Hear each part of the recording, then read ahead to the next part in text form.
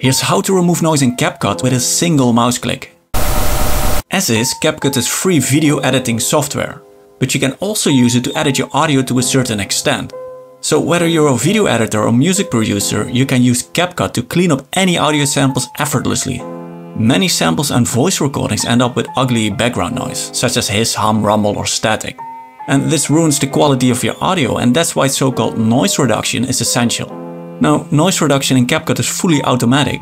CapCut recognizes the noise in your audio and removes it straight away. But most importantly, the noise reducer tool also produces excellent quality. So to use it, open CapCut and unless you already have a project, click New Project. Then just drag and drop your sample into the app. Or alternatively, click Import in the media window and locate the audio file on your disk. Once imported, click the plus icon on the file to add the audio to a track on the timeline. When you're adding things anyways, take one second to add me to your subscription feed. This way you will never miss my best music making strategies. Now let me play a noisy sample that we're gonna clean up. Now let me play a noisy sample that we're gonna clean up. On the timeline, left click on the audio sample, then go to the adjustment window and turn on noise reduction by clicking the checkbox. This single mouse click will immediately start the noise reduction process. Usually within a few seconds your audio will be completely free from noise.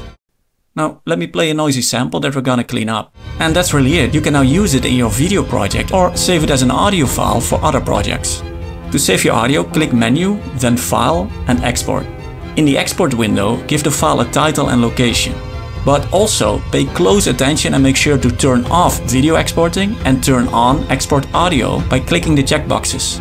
This way you can save the audio separately from the video. Now in the audio area here, feel free to choose a format. But for the best quality, consider using the WAV format. And when all is set, just click export and wait a few seconds and your noise-free audio clip will be ready for action. Finally, this is what both the original and noise-reduced samples sound like. Now let me play a noisy sample that we're gonna clean up. Now let me play a noisy sample that we're gonna clean up. Now in previous videos I also showed how to remove noise in Adobe Audition and FL Studio quickly, so to choose the best method for you, make sure to watch those next.